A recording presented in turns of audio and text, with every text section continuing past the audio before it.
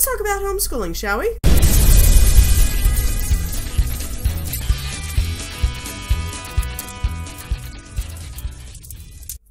Hey, howdy, hey, Trainwreck. How are you today? I am the glorious Trainwreck Mom, and I homeschool, and it's the holidays.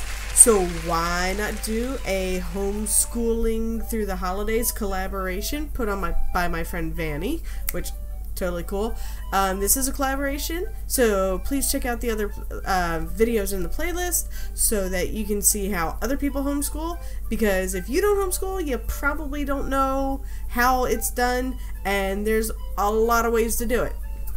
Um, that being said, yeah, we homeschool. We homeschool my 14 year old who who is um, actually wanting to go back to public school in August. So we're really you know crunch timing and all that fun stuff. And the way we've done it in the past with uh, homeschooling through the holidays is we homeschool. Duh. I don't. I guess maybe I'm really bad at this. I don't know.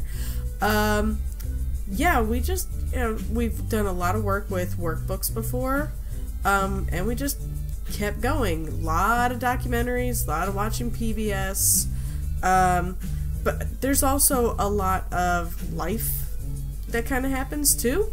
You know, learning about budgeting, learning about um, cooking, and you know just in general stuff. It's really uh, for us it's really not that hard. The problem came about this year with homeschooling. We chose a program Time4Learning i loved Time4Learning when she was in in like fourth and fifth grade. I loved it. I thought it was wonderful. It did really well. Eighth grade it has failed us. Um, i don't know if it's because of our internet or just whatever. It's just not a really good fit for us at this time. We've been using it since August, and I know she's way smarter than what's happening here. Um, but you know, a lot of it's motivation, a lot of it's um, it doesn't interest her. Um, and I think sometimes the lessons were presented in a less than palatable way for a lot of people because I did talk to a lot of people about this program and they said the math was really hard um, and it's not like it's hard, it's just presented in a, a way that made it very difficult to learn. And the social studies was as dull as dishwater. Like, it was just one of those, it's like, wait, what? The problem also ar- uh, or came up. I, I can do the words thing. I promise, guys. I promise. I homeschool. I have education and stuff. It's okay. Um, the problem came about um, when we don't actually have internet out here. To get internet where I live would be about $400 a month. So what we've been doing is using our phones to hook up a hotspot for her to click into to be able to do her learnings. Awesome. The problem then arises when I keep trying to use that word, and I do not think that word means what you think it means. Nope. Um, the problem has been coming up where she'll lose connection. And if she's in the middle of a quiz, in the middle of a test, or a chapter, or whatever she's doing, she has to start over again. What the hell? And that is exceedingly frustrating for her because, like, I've already done this. It was boring the first time. Why do I have to go through it again? and I totally understand her frustration. So we have gotten her out of Time4Learning, and we have put her into Khan Academy, which is free. Although I did donate ten bucks because you know, eh, you know th these things aren't free.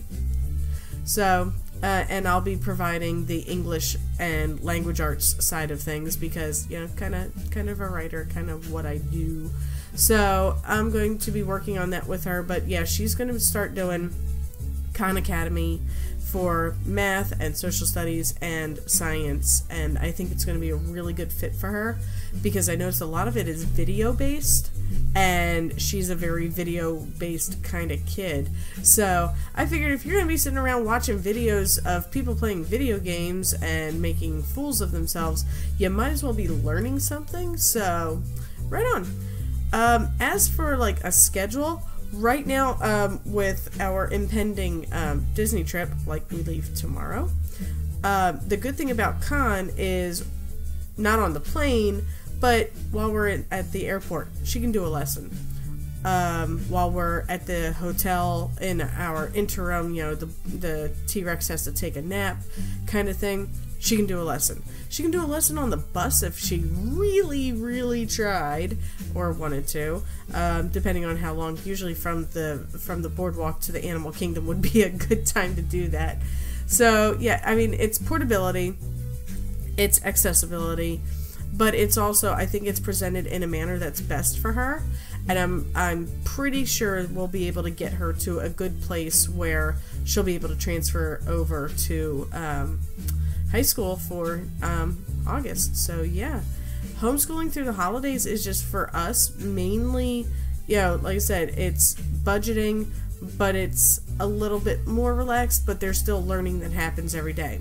There's you know we got to get the house clean. You know, let's do the chores. I mean, that's all all the time type of stuff. But the baking, the baking goes into overdrive when uh, the holidays happen. So yeah, there's a lot of math that I make her do. A lot of uh, a lot of figuring things out. So yeah, I mean that's pretty much it. I mean, homeschooling is not as hard as a lot of people want to make it out to be. I don't have a problem with it. Like I said, we've uh, Time4Learning was was doing well when it worked for us, but it didn't work for us this time. So we're looking at something new. I've heard really good things about Khan. What I've seen so far, I enjoy. So that's what we're doing is homeschooling for the holidays. If you're a homeschooler, I would love to hear what you what you use, what you do, um, what methods and all that fun stuff. If you used to homeschool but you don't anymore, I still want to hear about it. Throw me some comments down below. I would love to read them. And I do try to get back to them as quickly as humanly possible. Uh, what else? Oh, my books, Platitudes of Gratitude and All Your Fault, are still available in ebook and paperback on Amazon. Give me a like, subscribe, comment, share. When you hit subscribe, hit that little bell so you get to see this on a regular basis. Again, since this is a collaboration, I would love for you to go check out the other uh, videos in the playlist. I'll have that link down below as well.